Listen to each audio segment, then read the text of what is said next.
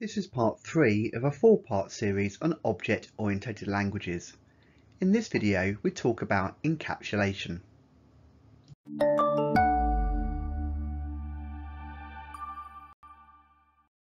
So encapsulation means the bundling of data with the methods that operate on and restrict direct access to it. Encapsulation is used to hide the values of internal state of an object preventing direct access by unauthorized parties. Encapsulated attributes of an object should only be accessible or changeable via the methods provided by that object. Encapsulation therefore helps keep data related to an object safe. It can't accidentally be altered by another part of the program without using the code provided in the methods, thus keeping the programmer in control.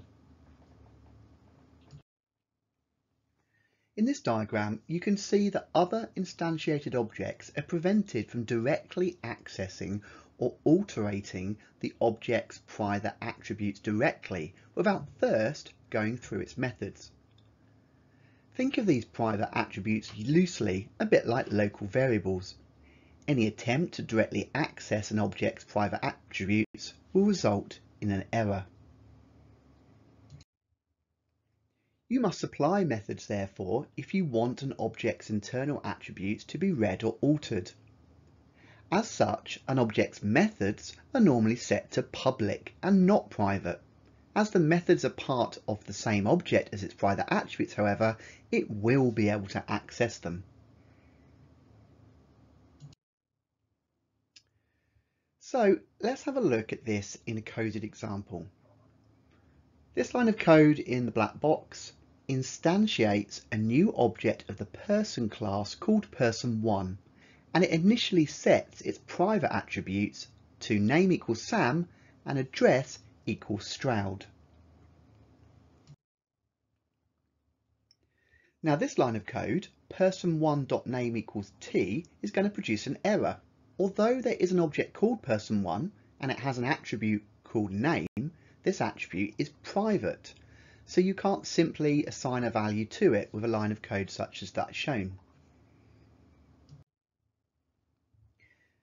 Now, this line of code, person1 dot set this calls the person1's object's public method setName and passes in the string t.